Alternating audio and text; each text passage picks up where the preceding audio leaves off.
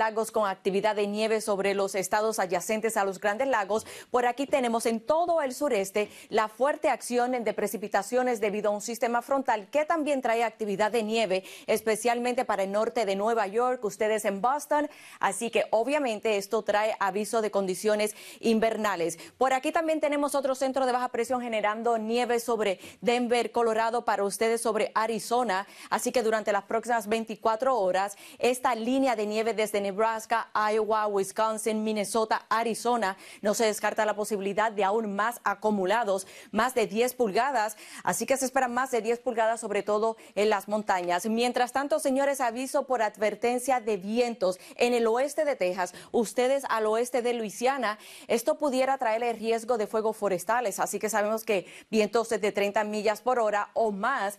Tenemos bastante sequía. Así que tremendo problema, pero al mismo tiempo condiciones muy peligrosas para el día de mañana para ustedes en Little Rock, en Jackson, hasta Nashville, ustedes en Memphis, por aquí vientos de más de 50 millas por hora. No se descarta la posibilidad de tornados, así que este sistema frontal está haciendo de las suyas. También tenemos bastante humedad desde el Golfo de México, suficientes factores para que tengamos mucha precaución, especialmente con los tornados. El invierno prácticamente, señores, se siente en toda la Unión Americana, inclusive en el sur de la Florida. Es todo de mi parte. Gracias por la confianza y continuamos con más de Primer Impacto. Gracias, Jacqueline.